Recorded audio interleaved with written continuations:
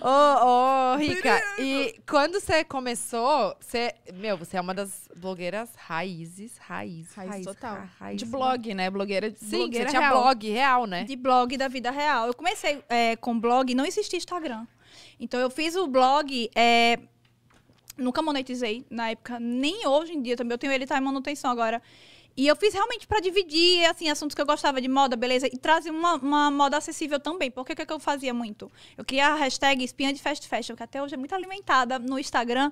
Na época não era hashtag, né? Mas era um título, um quadro, espinha de fast fashion, que eu criei no blog para mostrar para as pessoas é, tendências que a gente vê nos desfiles, que a gente vê nas, nas grandes semanas de moda, só que acessível de forma assim que a gente via em, em lojas de departamento e tudo mais. Então, por que, que era Spam de Fast Fashion? Porque eu ia escondida nessas lojas para fazer esses achatinhos. Por que escondido? Porque na época eu não podia. Você não podia estar filmando, tirar foto.